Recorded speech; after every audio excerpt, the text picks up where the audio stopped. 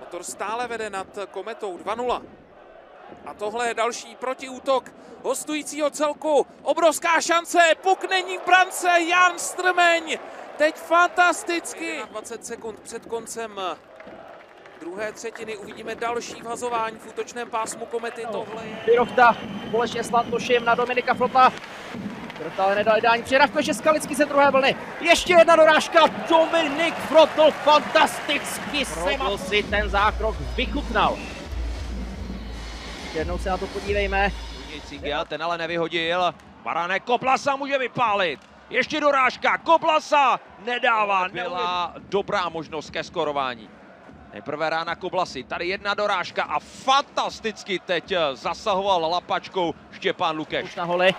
Nakonec ale ještě je tu jedna situace, dvou proti jednomu. Černok si najíždí na levý kruh, dostává přihrávku, fantastický Růžička a i na podruhé.